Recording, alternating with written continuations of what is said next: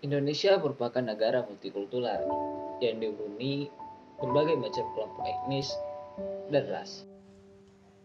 Mayoritas masyarakat Indonesia berasal dari ras Mongoloid dan Melazonoid yang ditambah dengan ras keturunan India, Arab, dan Tionghoa.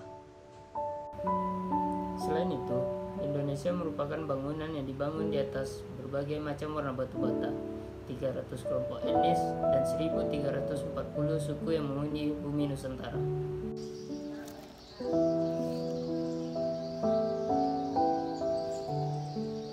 Sayangnya, anugerah indah dari Tuhan Yang Maha Esa tersebut kini sudah mulai ternodai.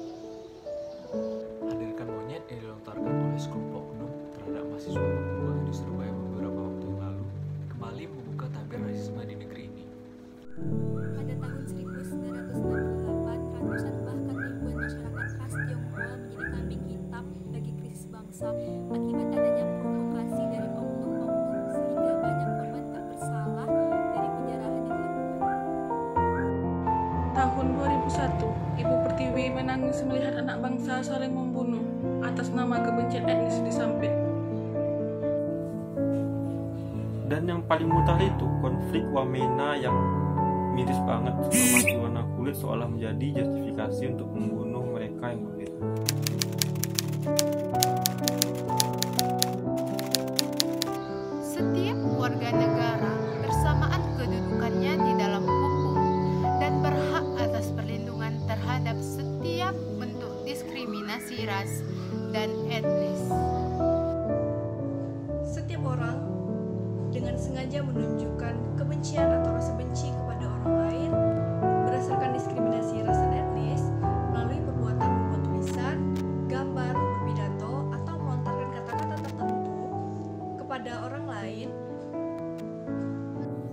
Bisa dipidana dengan penjara paling lama 5 tahun atau denda 500 juta rupiah. Ini berdasarkan pasal 4 Undang-Undang Nomor 4 Tahun 2008 dan pasal 16 Undang-Undang Nomor 4 Tahun 2008 tentang penghapusan diskriminasi ras dan etnis. kayak metode kayak gini gitu. Eh, parah. Parah. Halo, Parah. Assalamualaikum. Waalaikumsalam. Dari mana lo, Dek? Apa kabar? Baik. Baik. Lagi di rumah ya? Baik. Lagi di rumah ya? Enggak sih. Iya. Aku Iya.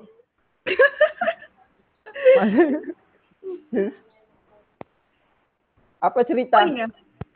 Tadi aku lihat Gina ngirim foto sama video. Video apa sih, Gin? Iya, Wak, berita yang tersorot banget soal ra- rasisme. Tapi menurut kalian ada nggak sih andil dari sosial media terhadap rasisme? Apalagi udah banyak banget pengguna sosial media. Pastinya karena media sosial itu kayak pisau bermata dua menjadi sarana komunikasi dan untuk mendapatkan informasi tapi juga bisa menjadi sarana yang menebarkan rasisme. Tiap waktu kita kan dapat banyak informasi nih kan dari sosial media. Dan di sosial media tuh kita udah bisa nilai dari postingan, dari komentar-komentar yang ada tuh itu tuh berkonotasi negatif terhadap kelompok tertentu. Tentu aja kan itu tuh mendiskreditkan kelompok tersebut. ya sosial media itu juga mempengaruhi perspektif kita terhadap rasisme gitu dan sebagian kelompok itu menetapkan standar dalam artian kalau ada seseorang atau sekelompok tertentu tidak bisa sesuai dengan standar yang mereka tetapkan itu ya bakal terjadi diskriminasi dan menganggap bahwa kelompoknya itu yang paling unggul dan menyebabkan ketidaksetaraan juga. Iya. Saat ini kayaknya rasisme bukan hanya tentang ras, etnis, suku, dan agama. Tetapi kadang juga ngelibatin fisik seseorang yang sering kita jumpai di sosial media. Seperti kayak apa standar kecantikan, ketampanan yang kadang jadi pandangan beberapa kalangan gitu. Padahal setiap orang kan punya inner beauty masing-masing kan Eh, da- dan nggak bisa dinilai hanya dari sampulnya aja covernya aja kan Namun tidak sedikit juga loh kalangan yang tersulut jiwa solidaritasnya dan kepeduliannya terhadap kasus rasisme. Dan berbondong-bondong untuk mendukung gerakan anti rasisme. Maka dari itu eh, mungkin peran kita sebagai kaum milenial manfaatkan sosial media sebagai sarana untuk memberikan edukasi terhadap bahayanya sikap rasisme ini dan kalau bisa sih mengubah cara pandang masyarakat luas kalau di dunia ini tidak ada namanya yang golongan superior. Pasti, kita perlu melakukan fact checking terus menggali kredibilitas dari informasi yang beredar dari sosial media biar nggak terprovokasi sama oknum penyebar rasisme. Kita semua manusia, kita semua butuh penerimaan dan tidak salah jika menjadi berbeda.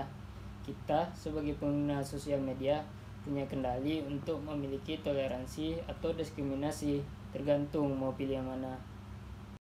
Iya benar banget sih. Dan kalau kita telaah kenapa Tuhan menciptakan kita berbeda-beda?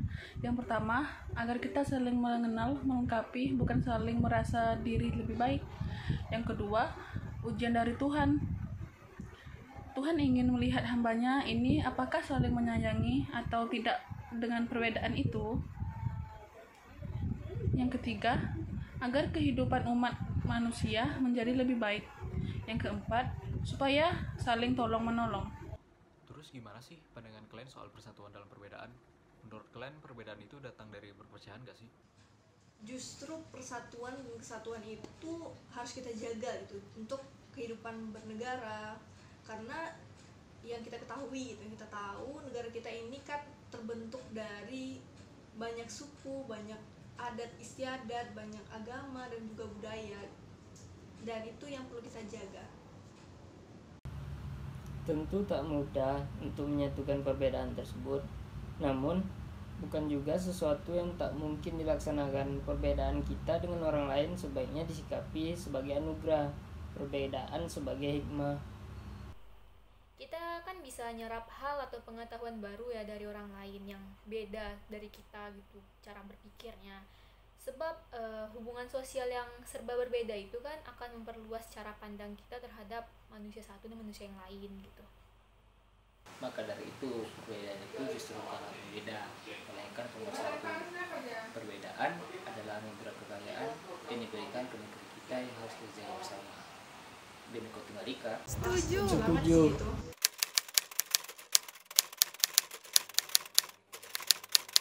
Sebagai generasi penerus bangsa, ayo kita ubah pola pikir kita Mari kita bangun sebuah bangsa yang menghormati perbedaan. sebuah bangsa yang mencintai keberagaman Sebuah bangsa yang berani mengadili oknum-oknum yang tega menyerang Oknum-oknum menyakiti dan bahkan membunuh pihak lain yang dianggap berbeda. Tinggalkan permusuhan dan kebencian. Apalagi penyebaran bohong dan fitnah. dan ingatlah saudaraku, tetaplah saudaramu. saudara sebangsa dan setanah airmu Indonesia indah dalam perbedaan. Indonesia indah dalam persaudaraan. Indonesia indah dalam persatuan. Perbedaan itu jangan kita samakan. Tapi perbedaan itu harus kita satukan. Bersatu dalam perbedaan ini akan terasa indah. Mari lawan Mari rasisme. lawan lawan rasisme. rasisme